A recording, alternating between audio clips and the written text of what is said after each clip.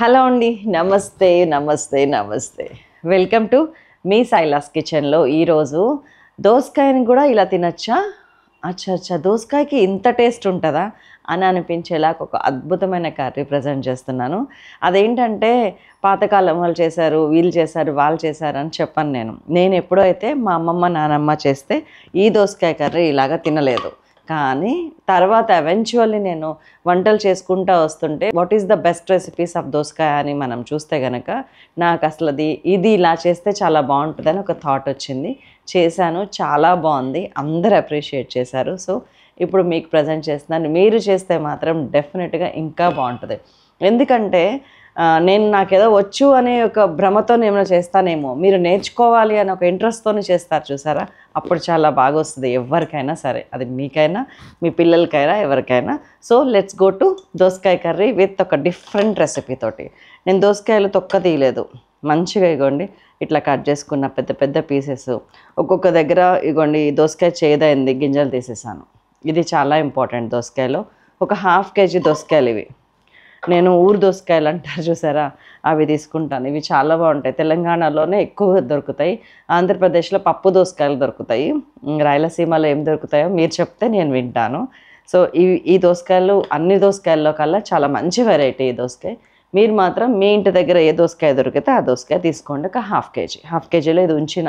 చెప్తాను కదా సాంబార్లో ఏదైనా పులుసుల్లో వేయాలి. కలగలుపు కూరల్లో పప్పుచారులు వేయాలంటే ఒక దోసకాయ ఉండాలి. దానికోసం మళ్ళా బజారు. సో ఎప్పుడు ఇలాంటి దోసకాయ సొరకాయ వంకాయ ములక్కాయ బెండకాయ లాంటివి వస్తే కనుక ఒకటి పక్కకి తీసి పెట్టుకోండి పరిస్థితిని బట్టి. చలో వాటర్ పోసేస్తున్నా.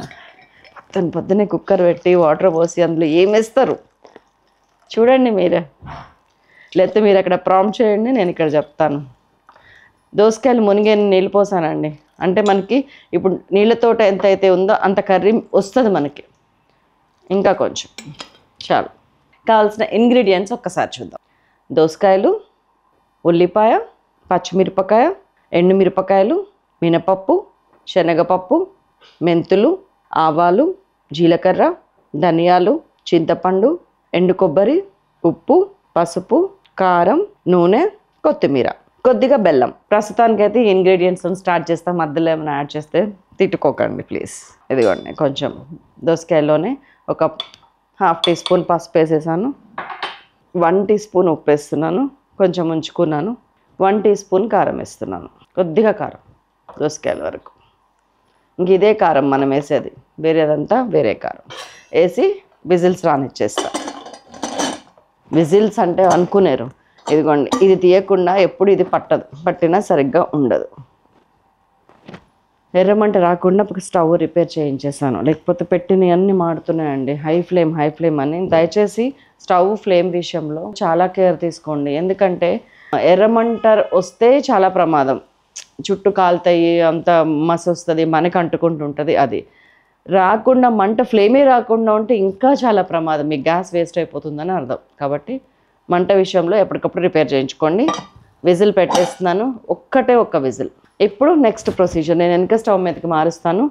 దీని మీద ఏం చేస్తానో చూడండి. సింగిల్ విజిల్ ఈలోపే లోపే వచ్చేస్తుంది. దానిలోకి కావాల్సిన మసాలా పేస్ట్ రెడీ చేద్దాం. దీనిలో ఎలాంటి మసాలాలు లేవు. ట్రస్ట్ మీ అసలు కొంచెం కూడా ఆవగించేంత కూడా ఏది లేదు. లాస్ట్ కొంచెం అల్లం వేసుకుందాం. కానీ ఇప్పుడే కాదు. వెల్లుల్లి అయితే అసలు లేదు. ఇది కార్తీక మాసం కర్రీ కూడా. వెల్లుల్లి అస్సలే అవసరం లేదు. వేడెక్కింద వచ్చి ఒక వన్ టీ స్పూన్ మినపప్పు.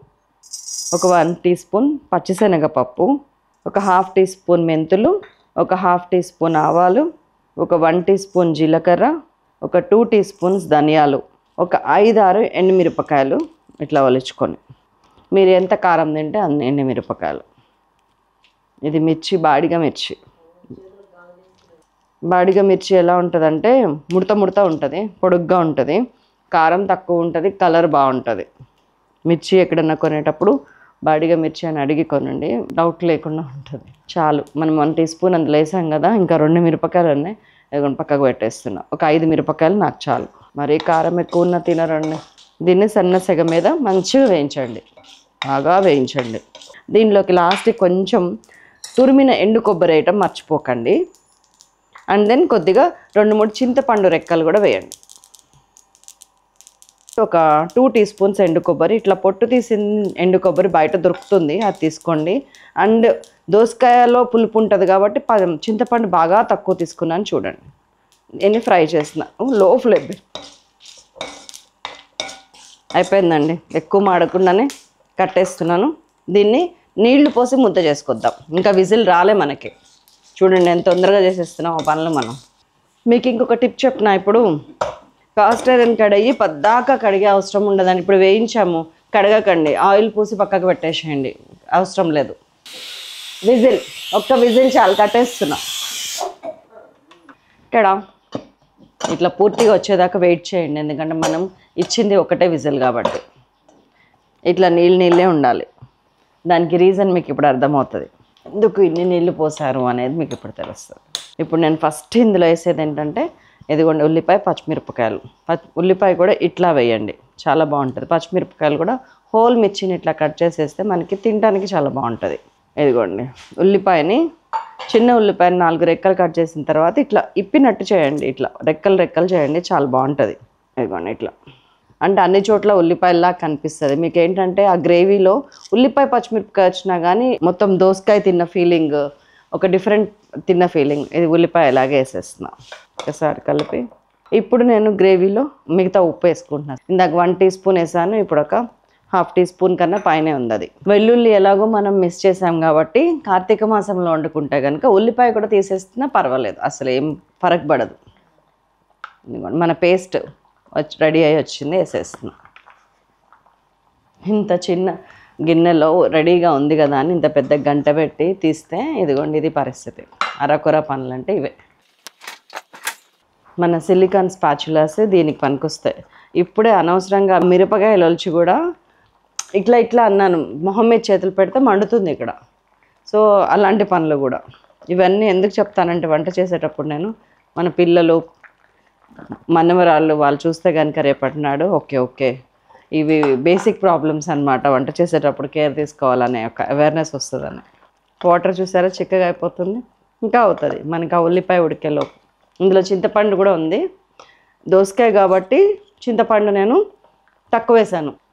అదే మీరు ఏ సొరకాయతోనో బీరకాయతోనో బెండకాయతోనో వంకాయతోనో ఈ కర్రీ చేస్తే కనుక ఇంకొంచెం చింతపండు వేసుకోవచ్చు. బాగుంటుంది పులుసు. అండ్ ఇంకొక చిన్న టిప్ ఏంటంటే దేనికి కూడా తొక్క తీసే కర్రీస్ కాని వాటికి ఇది వండండి.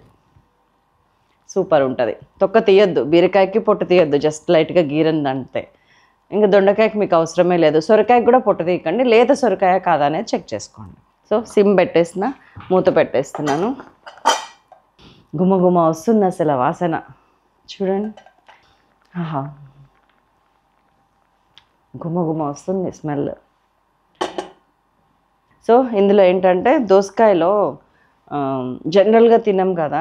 దోసకాయలో డైటరీ ఫైబర్ హెవీగా ఉంటుందండి. Fibre fibre fibre. పైగా మనం పొట్ట తీయకుండా వండుతున్నామంటే గట్లో కొన్ని టాక్సిన్స్ ఉంటాయి మన పొట్ట మొత్తంలో. ఆ టాక్సిన్స్ అన్నిటిని బయటకు తీసుకెళ్ళాలంటే ఓన్లీ కొన్నే పనికొస్తాయి. సొరకాయ దోసకాయ ఇట్లాంటివి ఏమో అంటారు కదా. ఇంట్లో దొంగలు పడితేనేమో డబ్బు దశకం పోతుంది. ఒంట్లో దొంగలు పడాలంటే దోసకాయ సొరకాయ లాంటి జ్యూస్లు ఇట్లాగా ఫైబర్తో సహా తింటే ఒంట్లో దొంగలు పడ్డట్టే. అంతగా క్లీన్ అయిపోతుంది గట్టు. అండ్ ఇందులో హెవీగా ఉన్నాయి vitamin C E and potassium magnesium ఇట్లాంటివన్నీ చాలా బాగుంటుంది. వైటమిన్ సి ఈ కే సూపర్ తింటారు కదా? ప్లీజ్ వీక్లీ వన్స్ సాంబార్ లెవెల్లో స్మెల్ వస్తుంది. పచ్చిశనగపప్పు మినప్పప్పు అన్నీ గ్రైండ్ చేసేసాం కదా? కలర్ చూసారా? బాడిగ మిర్చి మహత్యం ఇది. నాలుగైదు నిమిషాల నుంచి ఉడుకుతుంది. చాలా మంచి స్మెల్ వస్తుంది. అసలు మూత తీస్తే నేను దీని మీదకి మార్చుకొని పోపు వేసేస్తా ఇప్పుడు దాకా మనం ఆయిల్ వేయలేదు గమనించారా? లాస్ట్కే అండి పోపు చాలా బాగుంటుంది దీంట్లో ఆయిల్ లెస్ కర్రీస్ తినాలనుకునే వాళ్ళు ఇలా కూడా తినచ్చు. స్వచ్ఛమైన అసలు సీసలు పల్లీ గానుగ నూనె. ఆయిల్ వద్దు అనుకునే వాళ్ళు మొత్తం అవాయిడ్ చేసి అలాగే తినొచ్చు. చాలా టేస్టీగా ఉంటుంది. ఇది జస్ట్ కొసరు. అండ్ అందులో కొద్దిగా బెల్లం వేస్తున్నాను. కొంచెం అల్లం తురిమి వేస్తున్నా చూడండి. ఈ అల్లం మంచిగా తురుమాలి ఇట్లాగా. అండ్ బెల్లం. బెల్లం అనేది ఆప్షనల్ అల్లం ఆప్షన్ కాదు వేయాల్సిందే. ఎక్కువ వేయకండి కొంచెమే. మనం ఈ పోపు వేసే లోపల ఆ బెల్లం కరిగిపోతుంది ఈ మాత్రం కొంచెం గట్టిగా ఉన్నా. ఒక వెరీ లిటిల్ ఆవాలు వెరీ లిటిల్ జీలకర్ర. మనం ఇందాక తీసి పెట్టుకున్నాం వద్దని ఆ ఎండుమిరపకాయ చేతులు జాగ్రత్త. కొద్దిగా కరివేపాకు. దట్స్ ఆల్ మన పోపు. నో ఇంగువ దిస్ టైం మెంతులు కూడా అందులో వేసాం మెంతి పొడి ఉన్నట్టే. డ్రెస్ బాగుందా? మొన్న మన తెలుగు హౌస్ వైఫ్ సునీత గారు ఉన్నారు కదా కాస్ట్ ఐరన్ ఇత్తడి సామాన్లు అవి షాపింగ్ చేశాను. ఇదిగోండి ఈ డ్రెస్సెస్ అన్నీ వాళ్ళ దగ్గర ఒక ఏడెనిమిది డ్రెస్సులుగా ఉన్నాను. అన్నీ ఎక్స్ ఉన్నాయి డ్రెస్ బాగుందంటే మాత్రం credit goes to Vastradhara. Vanasthalipuram నుంచి లోపలికి వెళ్తే వైదేహి నగర్లో ఉంది.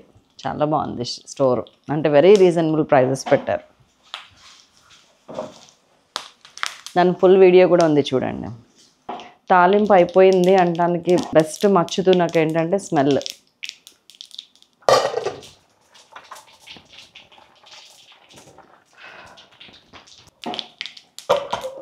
ఆడవాళ్ళకి ఎందుకేనండి?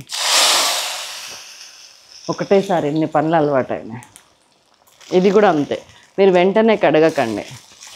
ఇంకొక రెండు మూడింటికి యూజ్ చేయొచ్చు. ఆ రోజే పని ఉంటాయి కనుక అనవసరంగా శ్రమ వేస్ట్ మన ఐరన్ అంతా కాలి మన కడుపులోకి రావాలి కానీ కడిగి వేస్ట్ అయిపోతే గట్టర్లోకి వెళ్ళిపోతే ఎలా?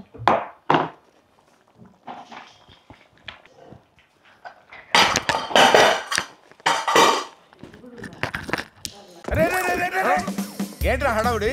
ఏం పొడి చేద్దామని? ఏముంది అందులో? ఇలా కాలింది. తొందర పడకూడదు అంటారు అందుకే. కాలింది. ఇప్పటిదాకా దాని మీద మూత పెట్టి ఉంచినా కదా. కొంచెం కొత్తిమీర. ఆడవాళ్ళకి అన్నీ సహించడం కూడా ఇందుకే అలవాటైంది. ఇప్పుడు చూడండి ఎంత కాలినా కానీ కెమెరా ఉందని నేను నవ్వలేదు. కెమెరా ఉందని నేను అంత క్యాజువల్గా తీసుకోలేదు. లేకపోతే ఇంకా క్యాజువల్గా తీసుకుంటాను. ఎవరికి చెప్పను కూడా చెప్పాను. మీరందరు కూడా అంతే. కానీ జాగ్రత్తగా ఉండటం అవసరం అండి. ఎందుకు లేనిపోని సమస్యలను ఇన్వైట్ చేయటం? సో ఉప్పు చూద్దాం ఒక్కసారి.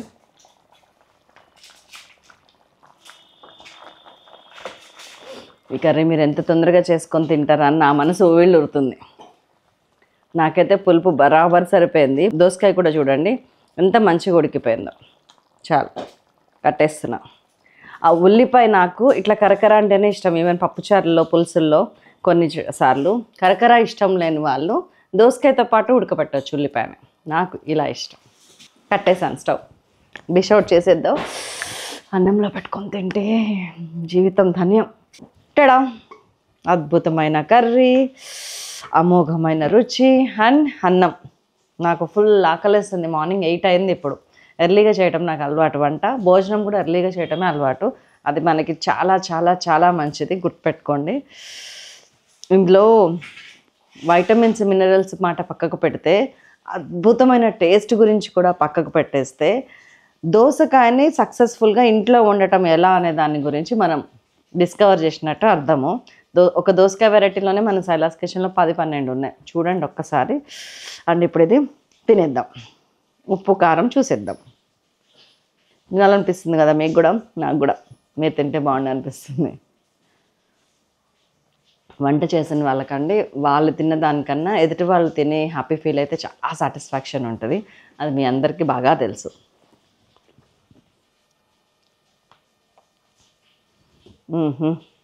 ఏ సాంబార్ అవసరం లేదండి అంతకు మించి టేస్ట్ ఉంది.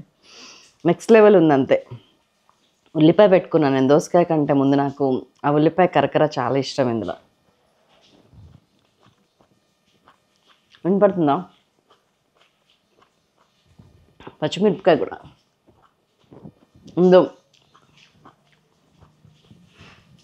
బోల్డ్ అంత జ్యూస్ వేసుకొని పప్పుచారు వేసుకొని చికెన్ ఫ్రై ఎవరైనా నంచుకుంటారండి.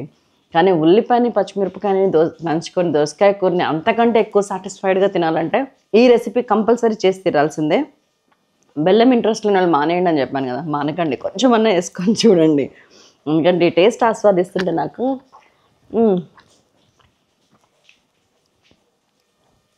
సూపర్.